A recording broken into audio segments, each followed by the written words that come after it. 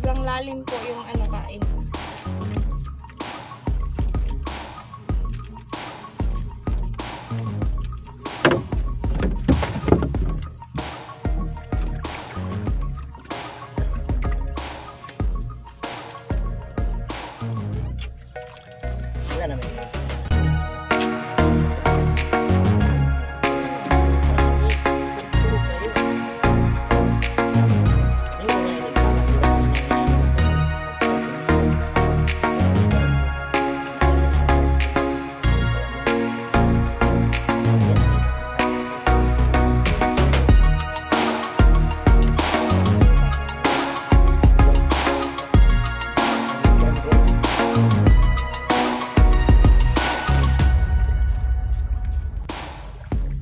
Pasulo niya ana, tanawa gani ka.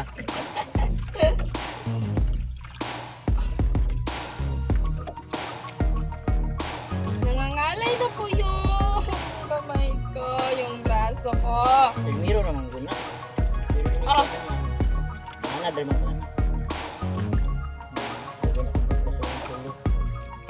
Wala naman siya na. Mamatay na oh. Ang cute. Wala lang, gusto mo na akong sintak. Mamatay na lang. Nabi, nabitas ang baba. Gagmay kay nakaon din. Busog na akong sintak, nabitas din ang baba. Luya.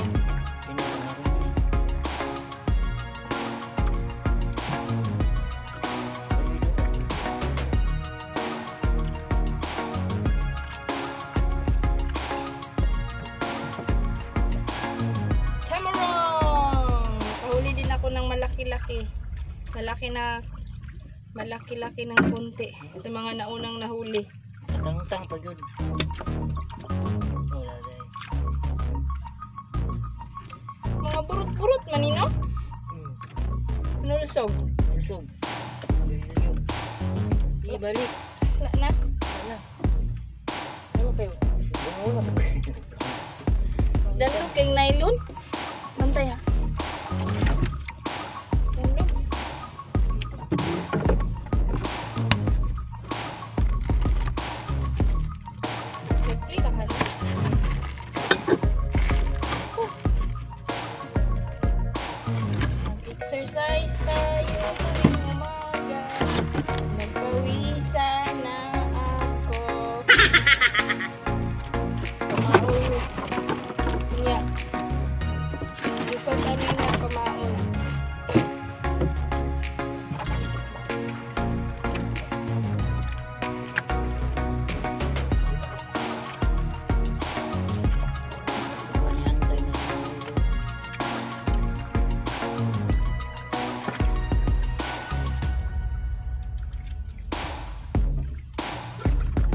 Wala yung puro sa sa kabo.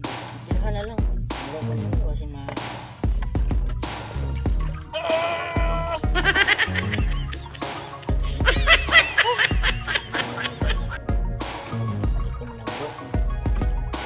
Kala niyo lang madali. Hindi po madali.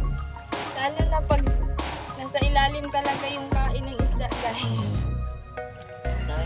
Alam ko na yung resulta nito mamaya.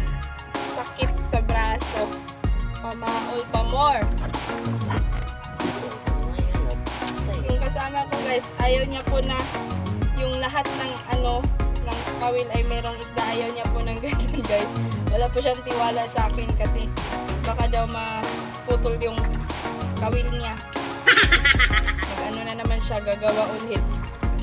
Kaya gusto niya guys, isa or dalawa, hihilain ko na daw. My goodness, Marites.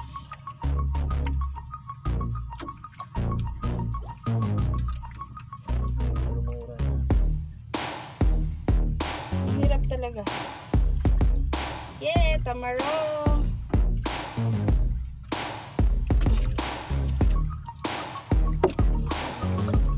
The gold one. Hindi pala gold, bronze pala ito. Ito yung tinatawag namin na bronzy guys dahil po sa kulay niya. Hulag ikot! Palaki ito, na. Buwan. Hulag itulon!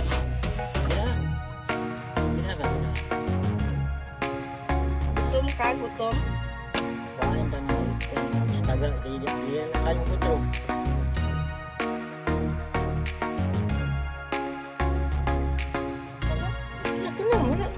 Ano? Ba isa? Eh, matay na ganun sa mot. Sana kayo na akong anak ron. Wala, muli pa dyan. Noon ko, ano naman taong kasalayo kayo nakao. Pagariya, mangunod sa una. Eh, wala na. Last na to. Ibibigay ko na yung trono sa kanya. Surrender na ako,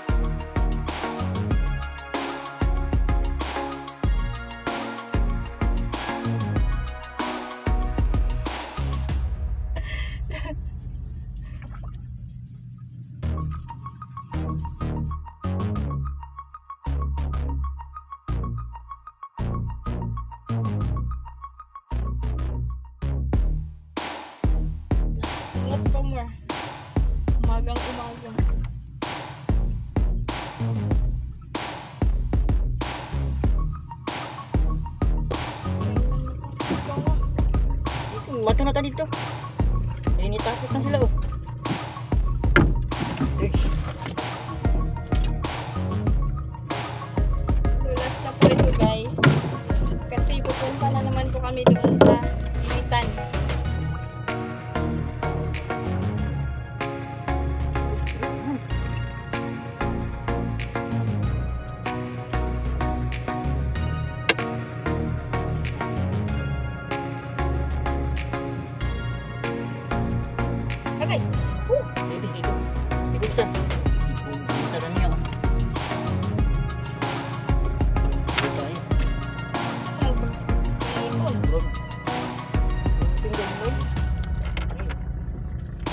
Hindi bang gagmay?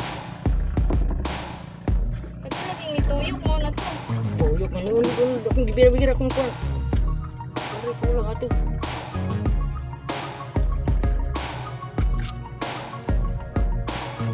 Oh, yuk ya, yung gara-gara ko bisa para umisa kayong kaon mo diha. Wala na. Buti. Dali ko na.